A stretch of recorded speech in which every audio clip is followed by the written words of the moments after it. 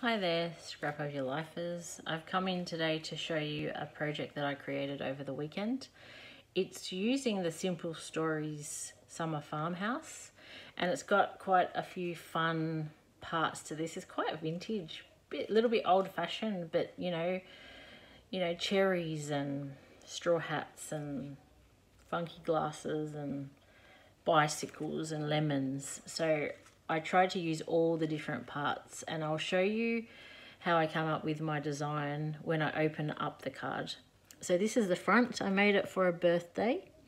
So all you can see is I started with a piece of yellow card that was a three by three inch and I did a background on it with some drippy acrylic paint which was meant to look like dripping ice cream. So I took the theme of the paper kit and I've tried to incorporate some ideas into the backgrounds.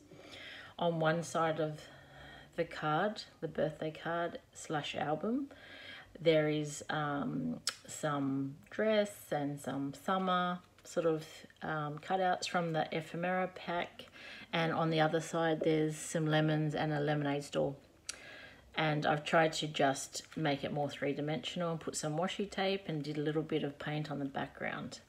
So to make this, what I did is I just put out my 12 by 12 card and I folded it into nine equal squares.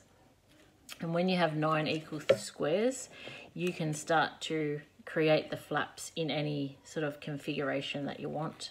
Um, I just chose to make them all different pretty much because it adds interest to the design.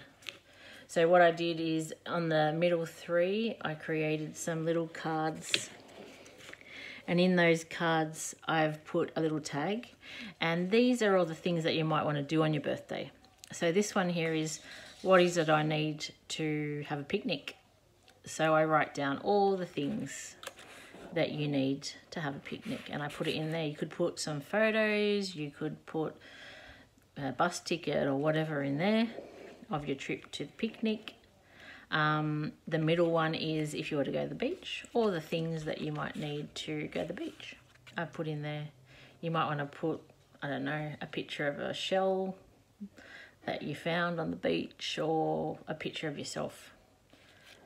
Uh, then I've created some little tag sort of pockets here so that you can add some things to it, to the album if you want.